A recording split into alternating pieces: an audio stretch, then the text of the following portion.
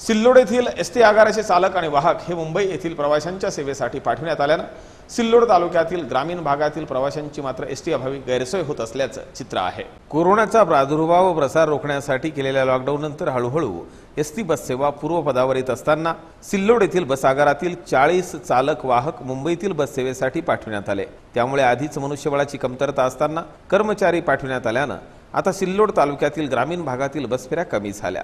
त्यामुळे मुंबई प्रवाशांची सोय ग्रामीण प्रवाशांच्या मुळावर मात्र येऊन पडली आहे. सिल्लोड तालुक्यातील चाळीस चालक व वाहक पाच बस मुंबईला पाठवण्यात आल्यात. त्यामुळे काही बस फेऱ्या रद्द करण्यात आल्या यामुळे ग्रामीण भागातील बस फेऱ्या कमी होत आहेत आणि नागरिकांची काही ठिकाणी गैरसोय होत असल्याचं समोर आलं आहे त्याचबरोबर आता नऊ ते बारापर्यंत शाळा व महाविद्यालये सुरू झाल्यानं विद्यार्थी वर्गालाही अडचण निर्माण झाली आहे. दरम्यान मागील आठवड्यात मुंबईत सेवा बजावण्यासाठी गेलेल्या चालकाचा कोरोना अहवाल पॉझिटिव्ह आला होता. मुंबई येथे गेलेल्या चालक व वाहक हे कोरोना काळात आपला जीव धोक्यात घालून आपलं कर्तव्य बजावत आहेत मात्र कर्तव्य बजावल्यानंतर ते सिल्लोड येथे कोरोना चाचणी करून घेणं अत्यंत आवश्यक आहे अशी अपेक्षाही चालक वाहकांनी व्यक्त केली आहे. वृत्तप्रतिनिधी अनिल साबळे सिल्लोड.